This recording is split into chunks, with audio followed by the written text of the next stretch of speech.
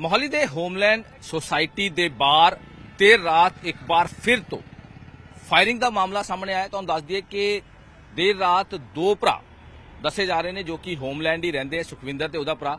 ਉਹਨਾਂ ਤੇ ਫਾਇਰਿੰਗ ਹੋਈ ਹੈ ਔਰ ਇਸੇ ਥਾਂ ਤੇ ਜਿੱਥੇ ਅਸੀਂ ਮੌਜੂਦ ਆ ਇਸੇ ਥਾਂ ਤੇ ਇਹ ਫਾਇਰਿੰਗ ਦੀ ਵਾਰਦਾਤ ਹੋਈ ਹੈ। ਤਿੰਨ ਤੋਂ ਚਾਰ ਗੱਡੀਆਂ ਤੇ ਦੱਸਿਆ ਜਾ ਰਿਹਾ ਹੈ ਕਿ ਦੋ ਥਾਰ, ਇੱਕ ਐਂਡੇਵਰ ਤੇ ਮੁੰਡੇ ਆਂਦੇ ਹਮਲਾਵਰ ਆਂਦੇ ਆ ਔਰ ਤਾਬੜਤੋੜ ਫਾਇਰਿੰਗ ਕਰਕੇ ਇੱਥੋਂ ਫਰਾਰ ਹੋ ਜਾਂਦੇ ਨੇ। ਲੇਟ ਨਾਈਟ ਦੀ ਇਹ ਕਰੀਬ 1:30 ਤੋਂ 2 ਵਜੇ ਦੀ ਇਹ ਪੂਰੀ ਘਟਨਾ ਹੈ ਜਦ ਇਹ ਪੂਰੀ ਜਿਹੜੀ ਹੈਗੀ ਹਮਲਾ ਹੋਇਆ ਹਾਲਾਂਕਿ ਇਹਦੇ ਵਿੱਚ ਰਾਹਤ ਦੀ ਇਹ ਗੱਲ ਜ਼ਰੂਰ ਰਹੀ ਕਿ ਜਿਹੜੇ ਦੋ ਭਰਾ ਤੇ ਹਮਲਾ ਕੀਤਾ ਹੈ, ਉਹਨਾਂ ਤੇ ਕਿਸੇ ਤਰ੍ਹਾਂ ਦੀ ਜਿਹੜੀ ਗੋਲੀ ਹੈ ਉਹ ਨਹੀਂ ਵੱਜੀ। ਉਹ ਬਾਲ-ਬਾਲ ਬੱਚੇ ਨੇ। ਮੌਕੇ ਤੇ ਇੱਥੇ ਪੁਲਿਸ ਪਹੁੰਚ ਕੇ ਹੁਣ ਇਨਵੈਸਟੀਗੇਸ਼ਨ ਕਰਦੀ ਨਜ਼ਰ ਆ ਰਹੀ ਹੈ। ਮਾਮਲਾ ਮਟੌਰ ਥਾਣੇ ਦੇ ਵਿੱਚ ਦਰਜ ਕਰ ਲਿਆ ਗਿਆ ਇਹਦੇ ਵਿੱਚ ਜਾਣਕਾਰੀ ਮਿਲੀ ਹੈ ਕਿ ਆਪਸੀ ਰੰਜਿਸ਼ ਦਾ ਇਹ ਪੂਰਾ ਮਾਮਲਾ ਹੈ।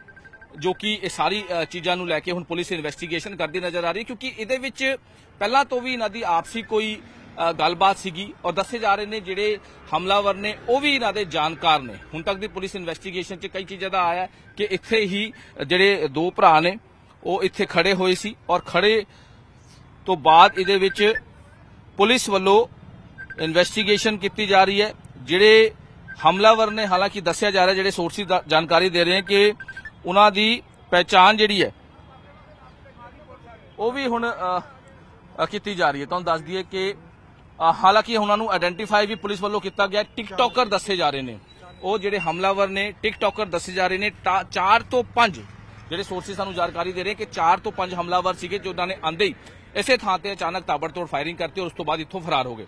ਹਾਲਾਂਕਿ ਇਹ ਪਹਿਲਾ ਮਾਮਲਾ ਨਹੀਂ ਹੈ। ਇਸ ਤੋਂ ਪਹਿਲਾਂ ਵੀ ਮੋਹਾਲੀ ਦੀ ਅਸੀਂ ਗੱਲ ਕਰ ਲਈਏ, ਕਈ ਚੀਜ਼ਾਂ ਨੂੰ ਲੈ ਕੇ ਵਿਵਾਦ, ਵਿਵਾਦਾਂ 'ਚ ਜ਼ਰੂਰ ਰਹੀ ਹੈ ਹਾਲਾਂਕਿ ਪੁਲਿਸ ਦੇ ਪਿਛਲੇ ਦਿਨਾਂ ਇਨਕਾਊਂਟਰ ਕੀਤੇ ਹੈ।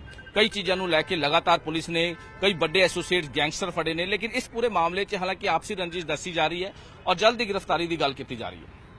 ਮੋਹਾਲੀ ਤੋਂ ਕੈਮਰਾਮੈਨ ਸਨਪ੍ਰੀਤ ਸਿੰਘ ਨਾਲ ਮਨੋਜ ਰਾਠੀ, ਨਿਊਜ਼ 18 ਪੰਜਾਬ। ਮੋਹਾਲੀ ਦੇ ਹੋਮਲੈਂਡ ਸੋਸਾਇਟੀ ਦੇ ਬਾਹਰ ਦੇਰ ਰਾਤ ਇੱਕ ਵਾਰ ਫਿਰ ਤੋਂ ਫਾਇਰਿੰਗ ਦਾ ਮਾਮਲਾ ਸਾਹਮਣੇ ਆਇਆ ਤੁਹਾਨੂੰ ਦੱਸ ਦਈਏ ਕਿ ਦੇਰ ਰਾਤ ਦੋ ਭਰਾ ਦੱਸੇ ਜਾ ਰਹੇ ਨੇ ਜੋ ਕਿ ਹੋਮਲੈਂਡ ਹੀ ਰਹਿੰਦੇ ਆ, ਸੁਖਵਿੰਦਰ ਤੇ ਉਹਦਾ ਭਰਾ।